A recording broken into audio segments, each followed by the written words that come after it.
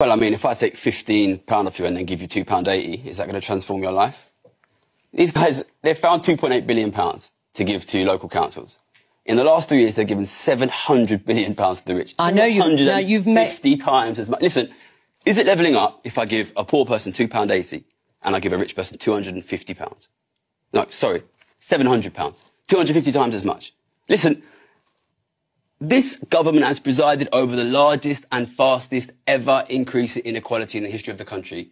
And the most Orwellian thing you've ever heard, they call that levelling up. Very well put.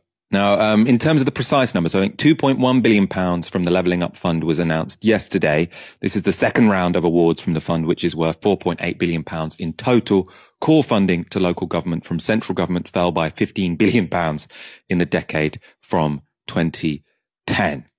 Um, and what you also heard Gary Stevenson talk about there was the money which was printed by the government, especially um, during COVID-19 in the form of furlough and handouts to business, which according to his analysis, which you can hear more of um, on his brilliant podcast with Aaron Bastani, all ended up flowing to the richest in society. Hence we have greater inequality than we had before the pandemic.